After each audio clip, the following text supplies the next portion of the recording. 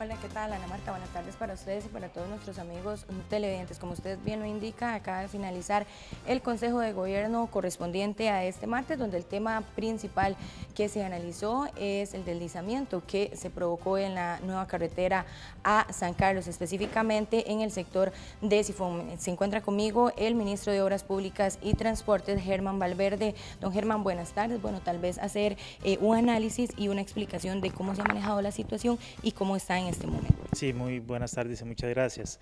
Eh, como se explicaba hace unos momentos, indicábamos que esto que ha ocurrido en el proyecto, en el kilómetro 21, es una situación que forma parte de la problemática geotécnica o la complejidad geotécnica que existe a lo largo de la carretera por las características geológicas del terreno donde este proyecto se está desarrollando. El kilómetro 21 es uno de los 73 sitios que se han identificado que tienen problemas de estabilidad geotécnica y en los cuales la administración ha venido ya desde hace muchísimo tiempo resolviendo cada uno de ellos.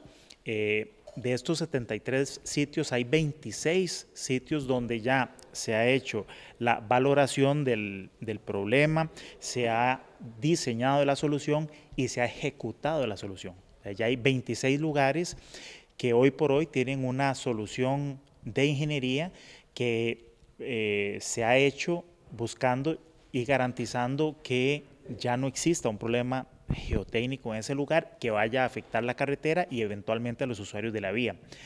Hay 41 sitios de estos 73 que ya tienen un diseño y que están a la espera de que se ejecuten las obras.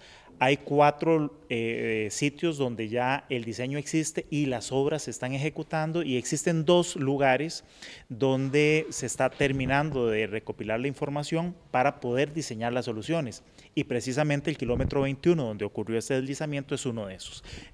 Don Germán, se podría decir que, bueno, cuando ustedes ingresaron a la administración ya tenían entonces el conocimiento, el ANAME hizo también un informe con respecto a este terreno donde se está construyendo la carretera y ustedes desde ese momento ya se podría decir que estaba presupuestado un deslizamiento de estos en el momento en el que ustedes conocían eh, la calidad del terreno.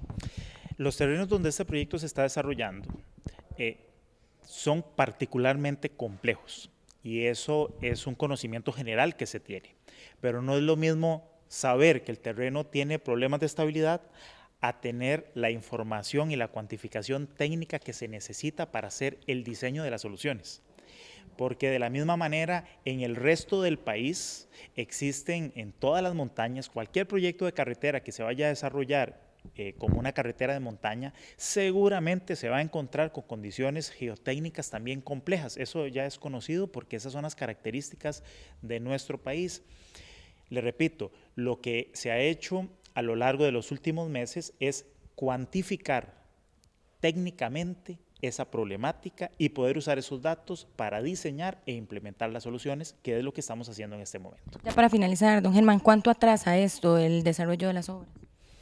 Eh, nada, porque eh, vamos a ver, el diseño de la solución de este kilómetro 21 ya estaba como parte de la línea de ruta, lo que ha ocurrido el fin de semana, eh, pues era previsible porque es conocido que ahí existía este, un, un problema geotécnico y simplemente la administración continúa con el plan que traía hasta este momento, por eso fue que dijimos que en un par de semanas, porque ya eso lo, estábamos analizando, tendríamos ya una idea de cuál sería la solución para entrarle ya al diseño definitivo y posteriormente la construcción de la obra civil que se necesita para resolver el problema geotécnico de ese sitio. Perfecto, don Germán, muchísimas gracias. Era el ministro de Obras Públicas y Transportes ampliando un poco el tema sobre el deslizamiento que se eh, presentó el fin de semana en la nueva carretera a San Carlos Ana Marta. Esa es la información por el momento. Ustedes tienen más allá en el estudio principal de RTN Noticias. Buenas tardes.